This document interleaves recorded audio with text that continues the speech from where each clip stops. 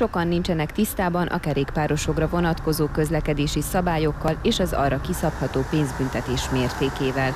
Nem tudom, hogy mekkora a büntetések, amennyiben uh, nincsen uh, felszerelés a biciklin. Nekem sincsen például egyik sem.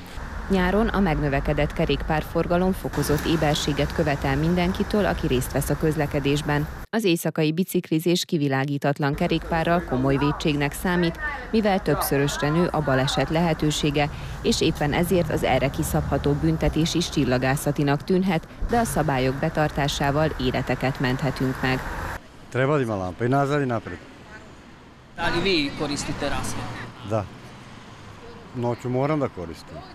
A szabályok betartása mellett a kerékpárok felszereltségére is oda kell figyelni. Az éjjeli közlekedés, amit, nem nagyon, amit itt nem nagyon tartanak be, hogy hogyan kellene. Tehát egyik az, hogy az első, az a bicikli elején ki, hogy legyen fehér fényforrás, hátul pedig piros fényforrás, mert az ugye meghatározza az irányt.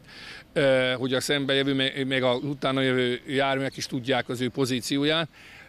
Bár nem kötelező, de nagyon ajánlatos, hogy aki éjszaka közlekedik, vegyen a, magára ezt a fényvisszaverő mellényt, mert az sokkal, sokkal láthatóbbá teszi a, a kerékpárost. Amennyiben településen belül közlekedik valaki biciklivel kivilágított úttesten, de a kerékpárján nincs semmilyen fényforrás, az esetben 3000 dinára büntetés.